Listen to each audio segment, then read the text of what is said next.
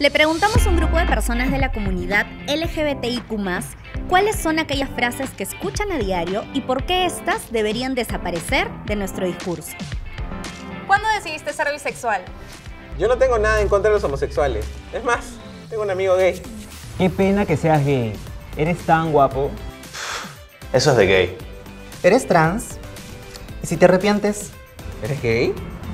Ah, te voy a presentar a un amigo que también lo es. Seguro eres gay porque has estado siempre rodeado de muchas mujeres. ¿Y quién es la mujer de la relación? Eso es de lesbianas. No tengo nada en contra, pero... Tranquilo, seguro solo es una fase. Estas son una de las tantas frases que la comunidad LGBTQI+, debería dejar de oír. Todas evidencian desconocimiento y prejuicio. Cuestionemos nuestros propios sesgos inconscientes. Reconozcamos que nuestra intención no excusa el impacto.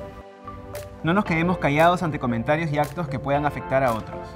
En Yambal seguiremos contribuyendo en la construcción de un mundo más inclusivo donde todas las personas se sientan libres de ser tal como son.